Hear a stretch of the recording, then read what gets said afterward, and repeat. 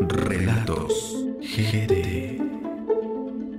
La importancia de tener un documento de identificación actualmente es fundamental para la mayoría de actividades sociales en nuestro país. En Guatemala, muchos recordamos con nostalgia un documento que algunos guardan con mucho cariño y otros que no lograron obtener debido a la modernización del mismo. La historia de la cédula de vecindad en Guatemala. No olvides suscribirte al canal, activar la campanita de notificaciones y compartir nuestros videos. Este documento acompañó a los guatemaltecos entre los años 1932 hasta el año 2013. Fue el documento oficial de identificación en Guatemala. El gobierno de Jorge Ubico fue el encargado de introducirlo a la vida jurídica el 1 de enero de 1932, esto bajo el decreto legislativo 1735, mismo que expresa que la calidad de vecino se prueba con la cédula de vecindad, la cual es obligatoria para todos los ciudadanos mayores de edad.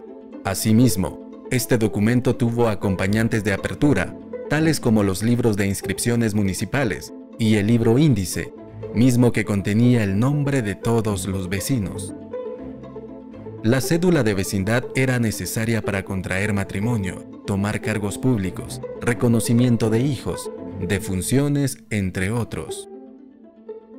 Entre las características que destacaban al vecindado, se pueden mencionar las siguientes. El número de orden que correspondía al asiento, lugar y fecha de emisión, nombre y apellidos del ciudadano, lugar y fecha de nacimiento, nombres y apellidos de los padres, estado civil, si era casado, el nombre del cónyuge, profesión, arte u oficio, si se tenía formación académica o era analfabeto, dirección de la residencia, expresando cantón, barrio, caserío, aldea, finca o hacienda, si se había prestado servicio militar, características personales como lunares, cicatrices visibles, defectos físicos, color de piel, de ojos y de cabello, la altura expresada en centímetros, la firma del ciudadano, fecha y firma del secretario o alcalde, y la fotografía del vecindado.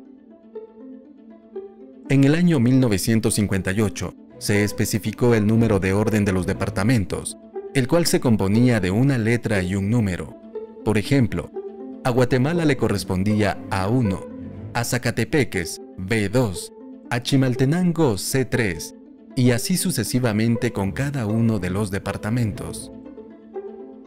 En el año 2010 se creó el nuevo Documento Personal de Identificación, DPI, dejando posteriormente sin vigencia a la cédula de vecindad.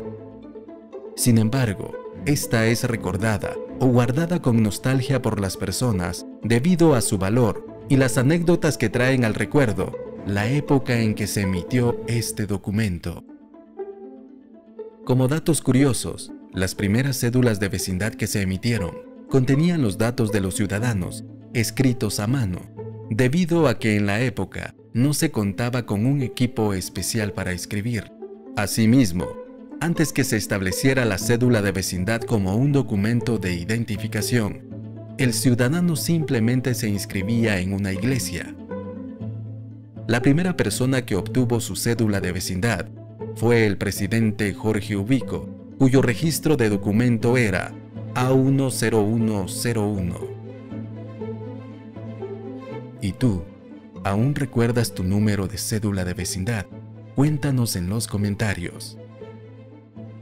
No olvides suscribirte, activar la campanita de notificaciones y compartir nuestros videos.